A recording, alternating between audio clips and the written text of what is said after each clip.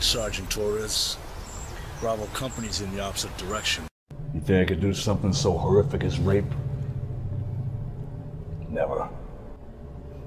Not in a million years. Diane Torres says otherwise. You're an attractive woman, Sabrina. Especially when you're fired up. If you hadn't gotten discharged after Diane, you could have been next. I've done so many horrible things to you, to other women, to to people. I should have listened to you.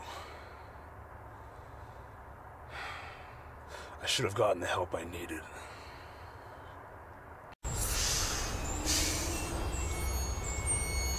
Listen to me, Torres.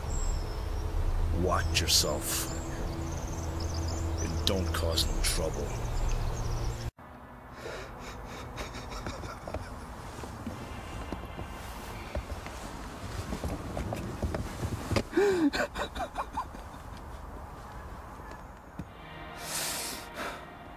Please. Please forgive me. I'm not saying it never happens, but those numbers are exaggerated.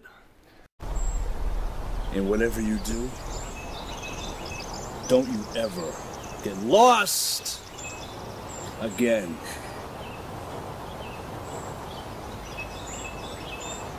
Understand?